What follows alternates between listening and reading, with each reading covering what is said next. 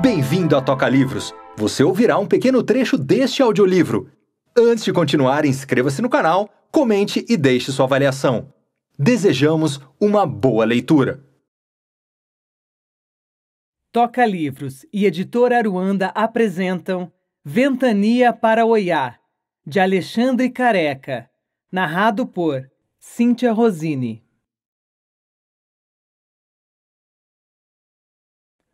Agradecimentos.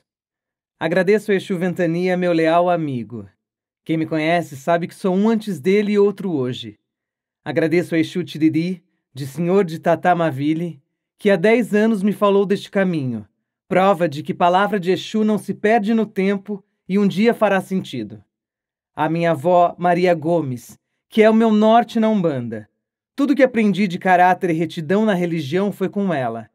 A Roger Cipó que me disse: Só vai, pai. Você é capaz e sua arte é linda.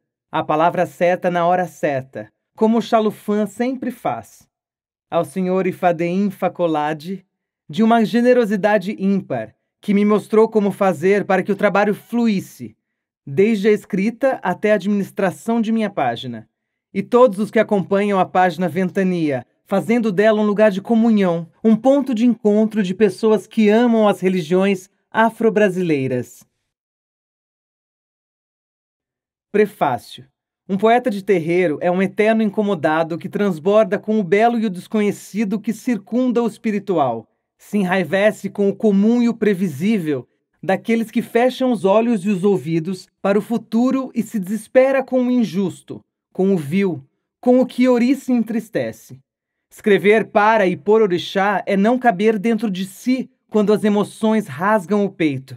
É querer compartilhar com o irmão, mesmo que nunca o tenhamos visto, aquilo que nos é mais precioso, e ainda assim nunca nos faltar, pois quanto mais doamos, mais temos. O ori que compartilha é abundante, é um campo vasto onde o ancestral é presente e o futuro é certeza de fé, apesar dos caminhos que a vida seguirá.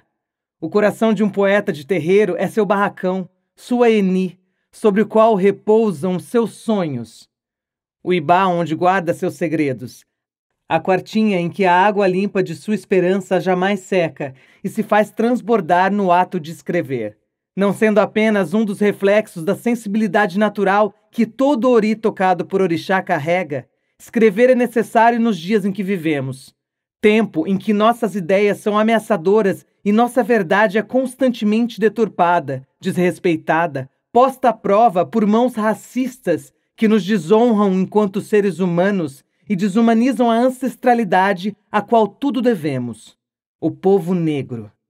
Escrever é responsabilidade para com nosso legado, com nossas crianças, com nossos antepassados que não puderam fazê-lo. Escrever é também uma forma de testemunhar o orixá, que sempre foi e sempre será o sopro ancestral cheio de vida que permeia o coração daqueles que se permitem conhecê-lo e, acima de tudo, vivenciá-lo.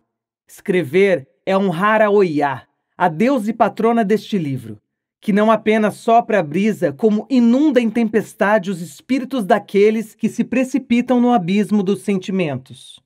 Escrever é honrar a Exu e sua sagrada comunicação, que movimenta o mundo e interliga nossas histórias o grande mensageiro, aquele que fala o que se cumpre mais à frente, aquele que também é vento e fogo como Oiá, aquele que também se apresentou como ventania. Não poderia haver nome mais providencial, Exu Ventania, Mojubá, Laroye. Dos sussurros de ventania se formaram as palavras de Alexandre Careca, que, ao explorar toda a sinestesia da alma, precipita-se conosco e também nos permite voar em suas escritas, que invariavelmente são aladas, ora leves, ora pesadas, definitivamente frutos de Oiá. Assim é sua obra, O Próprio Vento.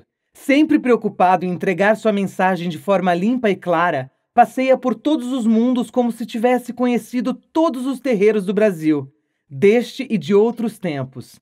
Afinal, Quão extensa é a longevidade de uma alma de Xangô que traz a realeza a seus versos, alegria às suas prosas, bem como as reflexões e provocações tão necessárias ao ato de sobreviver?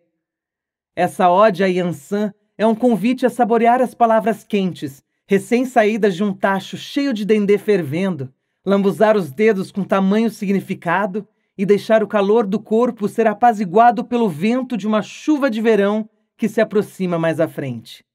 Esta ode ao Iá é um convite para celebrarmos a astúcia de uma aventureira que caminhou por todos os povos, a determinação e a coragem de uma guerreira que lutou por seus ideais até o fim. Você acaba de ouvir um trecho de um dos audiolivros da Toca Livros. A versão completa está em nossa plataforma.